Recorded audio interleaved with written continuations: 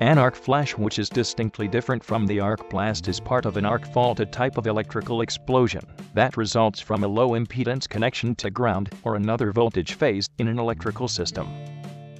An arc flash is the light and heat produced from an electric arc supplied with sufficient electrical energy to cause substantial damage, harm, fire, or injury. Electrical arcs experience negative incremental resistance, which causes the electrical resistance to decrease as the arc temperature increases. Therefore, as the arc develops and gets hotter the resistance drops, drawing more and more current until some part of the system melts, trips, or evaporates, providing enough distance to break the circuit and extinguish the arc. Electrical arcs, when well controlled and fed by limited energy, produce very bright light and are used in arc lamps for welding, plasma cutting, and other industrial applications. Welding arcs can easily turn steel into a liquid with an average of only 24 DC volts when an uncontrolled arc forms at high voltages. Arc flashes can produce deafening noises, supersonic, concussive forces, superheated shrapnel, temperatures far greater than the sun's surface, and intense, high-energy radiation capable of vaporizing nearby materials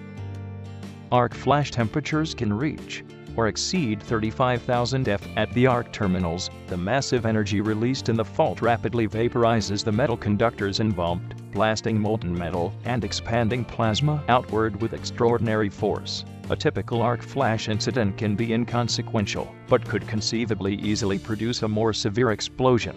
The result of the violent event can cause destruction of equipment involved fire, and injury, not only to an electrical worker but also to bystanders. During the arc flash, electrical energy vaporizes the metal, which changes from solid state to gas vapor, expanding it with explosive force. For example, when copper vaporizes it suddenly expands by a factor of 67,000 times in volume.